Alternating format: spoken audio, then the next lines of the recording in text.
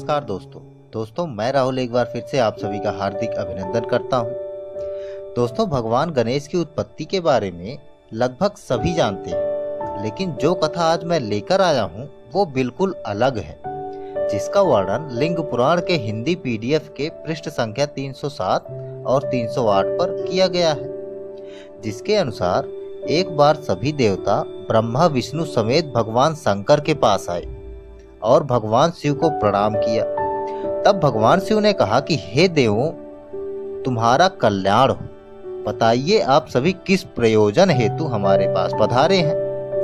तब सभी देवता बोले कि, हे भोलेनाथ, आप तो सर्वव्यापी हैं। आपसे कुछ नहीं छिपा है। आप तो जानते ही हैं कि दैत्यों ने हमारा जीवन दुर्लभ कर रखा है। कोई भी यज्ञ हवन धार्मिक अनुष्ठान पूरा नहीं होने देते।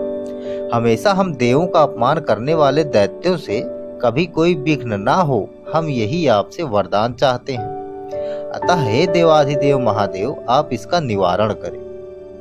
यह सुनकर पिनाकी शिव ने तथास्तु बोला और गणेश्वर का शरीर धारण किया। सभी देवता और गणों ने संसार के दुख दूर करने वाले गज गज का मतलब हाथी के मुख वाले दोस्तों, त्रिशूल धारण करने वाले गजानन को देखा। उस समय सिद्ध मुनीश्वर देवता आदि आकाश से फूलों की वर्षा करने लगे तथा गणेश और महेश को प्रणाम किया। फिर मूर्तमान सुंदर बालक गजमुख गणेश ने महेश्वर और अंबिका को प्रणाम किया तथा भगवान शिव ने बालक के सिर पर हाथ फेरा और उसके माथे पर चुम्बन किया और कहा कि, हे पुत्र, तेरा अवतार दैत्यों के नाश तथा ब्रह्मवादियों के उपकार के लिए हुआ है। अध्यापन, अध्ययन, व्याख्यान रूपी कर्मों को जो अन्याय पूर्वक करते हैं, उनके प्राणों का हरण कर। दक्षिणाहीन जो यज्ञ करे, उनके यज्ञ में तू विघ्न कर। जो स्त्री अथवा पुरुष अपने वर्ण से गिरा है और अपने धर्म का पालन नहीं करता, उसके प्राणों का हरण कर। हे विनायक, जो स्त्री या पुरुष तुम्हारी नित्य पूजा करते हैं, उन्हें संपत्ति प्रदान कर। भक्तों की सदा रक्षा कर। तीनों लोकों में तू सर्वपूज्य और वंदनीय होगा। जो मुझको, ब्रह्मा को और विष्णु को, यज्ञादिकों में पूजेंगे, उनमें सबसे पहले तुम्हारा पूजन होगा। जो तुम्हारा पूजन करके लौकिक कर्म करेगा, उसका कल्याण तथा तुम्हारी पूजा न करने वाले का अकल्याण होगा। ब्राह्मण, क्षत्रिय, वैश्य, शूद्र सर्व सिद्धि के लिए अनेक प्रकार के भोजनों का भोग लगाकर पूजन करेंगे। उन्हें यथार्थ फल प्राप्त होगा। वहीं गंध, पुष्प, धूप आदि से तुम्हारा पूजन न करने वाले को, चाहे वह मनुष्य हो या देव, उसको कोई फल प्राप्त नहीं होगा।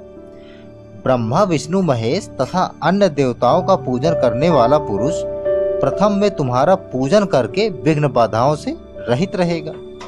तब से जगत में गणेश का पूजन सर्वप्रथम होता है, क्योंकि वह दैत्यों के यज्ञों का ध्वंस करने वाले हैं। इस प्रकार स्कंद के भाई गणेश की उत्पत्ति हुई। वहीं लिंग पुराण में यह भी बताया गया है कि जो भी इस प्रसंग को सुनेगा या सुनाएगा, वह सुखी रहेगा।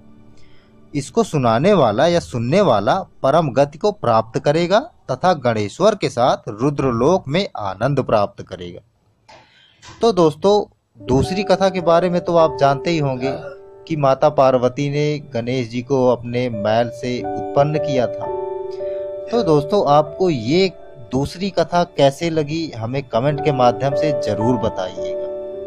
और ये कथा दोस्तों, मैंने बताया भी है कि ये लिंग पुराण के इस पृष्ठ संख्या पे आपको मिल जाएगी।